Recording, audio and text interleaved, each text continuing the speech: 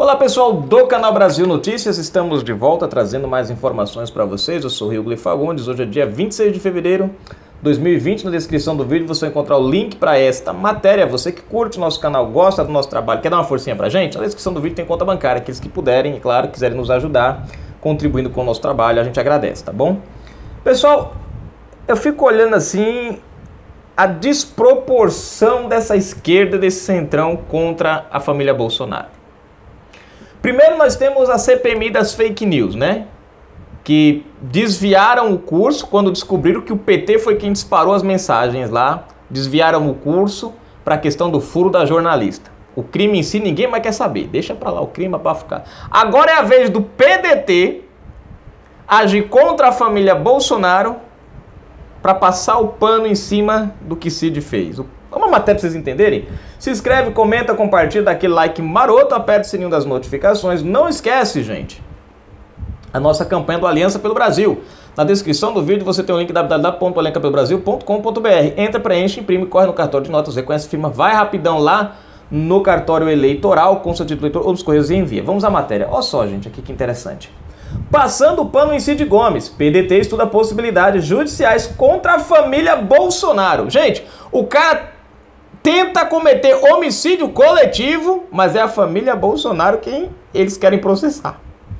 O Partido Democrático Trabalhista, PDT, está estudando possibilidades de questionar judicialmente as declarações do deputado federal Eduardo Bolsonaro e do senador Flávio Bolsonaro em relação a fato ocorrido no Ceará envolvendo Debilode Cid Gomes.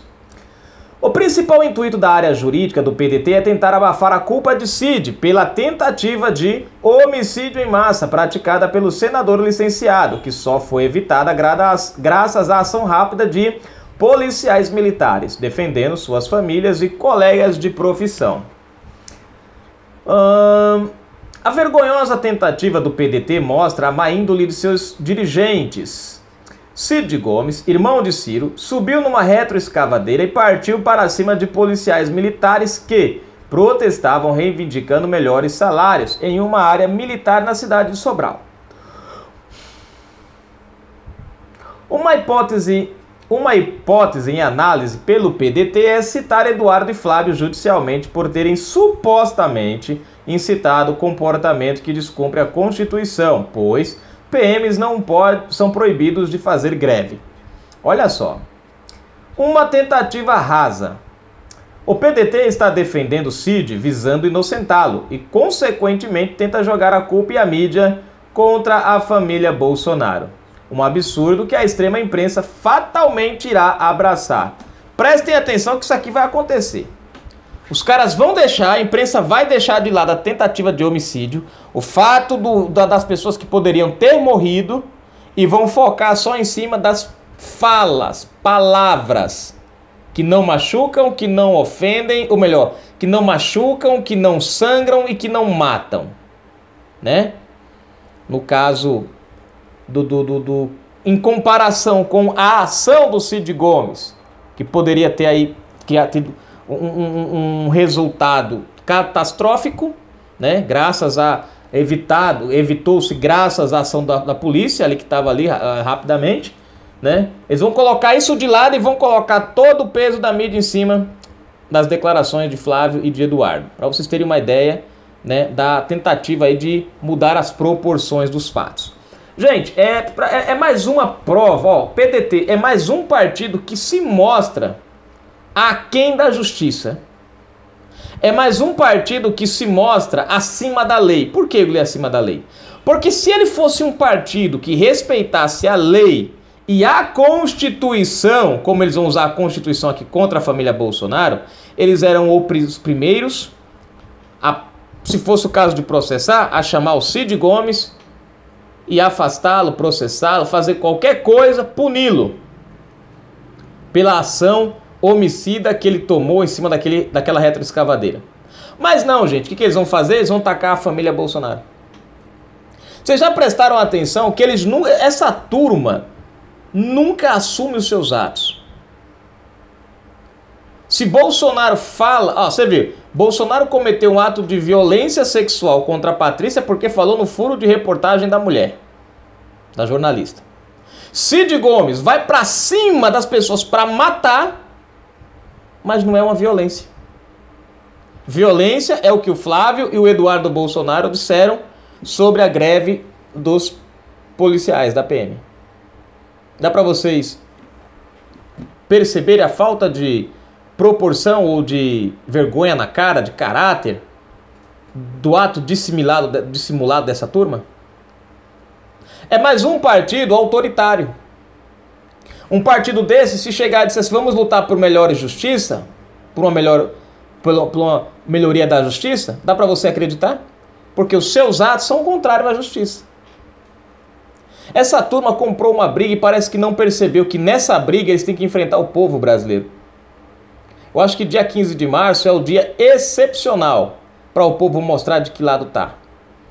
Você vê, gente, os caras tentam passar por cima, o cara tenta passar por cima das pessoas e o partido trata isso como se fosse a coisa mais normal do mundo. Nenhuma ação, nada. Declarações são mais importantes do que ações para eles. É vergonhoso ver isso no nosso país. Agora, por outro lado, é bom, porque você do Ceará, que elege essa turma do PDT, esse pessoal do Ciro Gomes aí, tá começando a ver quem são esses caras.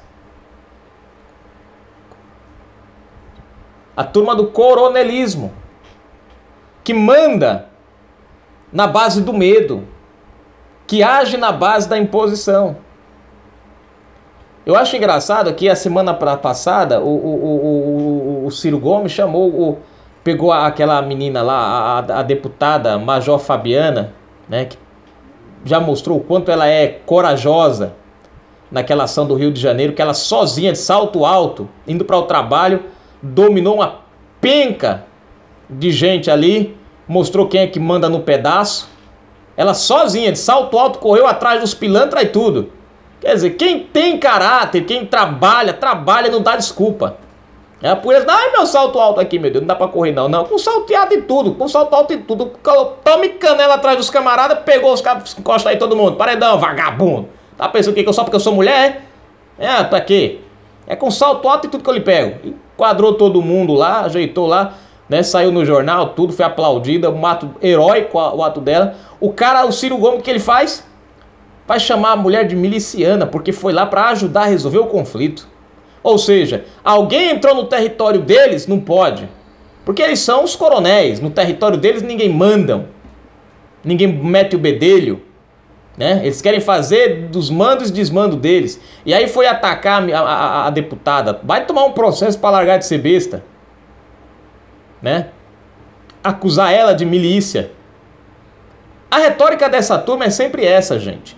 Você vê, o irmão tenta atropelar o povo e matar. Não tem argumento para defender, vai chamar de miliciano os outros. Me lembra o PT.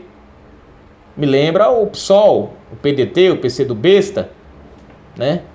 Que não tem argumento para atacar o governo, não sabe como esconder as ladroagens, os crimes e aí chamam de miliciano. Pessoal que tenta fazer alguma coisa, colocar ordem no Brasil. E aí ele foi lá atacou. Chamou também o presidente de canalhas. De canalha. Disse que os ministros eram canalhas. Segundo ele, Bolsonaro colocou os canalhas aí. Mas essa declaração para o PDT não é nada. É normal, é liberdade de expressão. O ato do Cid Gomes tentar matar o povo é liberdade de que? De tirar a vida? Será que tem isso na Constituição eu não estou sabendo? Gente, é um partido que, na minha opinião, eu não voto em ninguém que faça parte do PDT. Na minha cidade aqui, ó, fez parte do PDT, faz, pronto, queridão. Nem vem aqui na minha casa, nem apareça aqui, por favor. Não quero papo. Não tem meu voto. Eu não vou votar num partido que ataca o meu presidente que eu tentei com todas as forças elegê-lo e conseguir. Não vou votar num partido que tenta criminalizar alguém por uma declaração, mas passa o pano em quem tentou matar deliberadamente. Não só tentou matar, mas ameaçou e cumpriu. Ou melhor, não cumpriu porque derrubaram ele de cima, né? Derrubaram ele de cima. Para sorte deles, dessa turma, né? Porque, enfim. Mas tá aí. Esse é o partido do PDT, gente.